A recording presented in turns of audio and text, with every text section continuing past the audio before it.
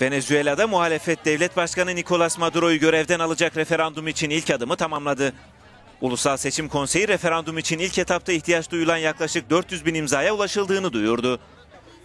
Referandum sürecinde ikinci aşamaya geçilmesi için seçmenin en az yüzde birinin imzası gerekiyordu. Ancak referanduma gidilmesi için ikinci aşamada bu oranın 3 gün içinde en az yüzde 20'ye yani 4 milyona çıkması gerekiyor.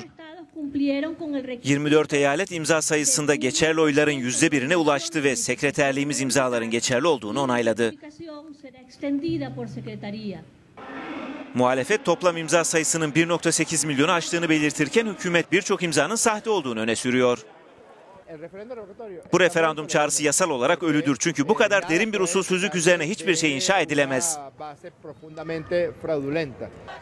Venezuela yasalarına göre devlet başkanına görevden el çektirecek referanduma gidilmesi durumunda devlet başkanının en son seçimde aldığı oydan daha fazla oyla gönderilmesi şartı aranıyor. Olası bir referandumda muhalefetin 7,5 milyondan fazla oya ihtiyacı var.